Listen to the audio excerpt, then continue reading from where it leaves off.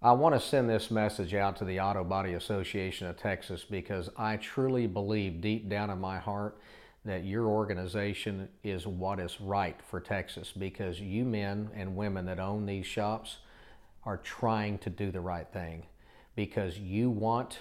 the you, you want to repair the vehicles the right way and you know how to do it the right way but unfortunately the insurance companies are bullying you into not doing it the right way. Well let me tell you the jury has spoken and if you don't stand up to these insurance companies and say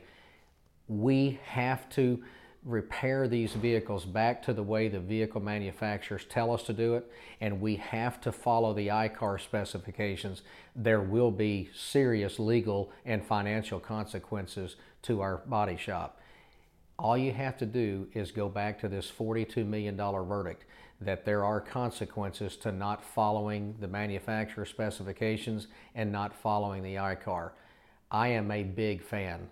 of the Auto Body Association of Texas. I think you are a wonderful organization and I stand behind you a thousand percent and I will fight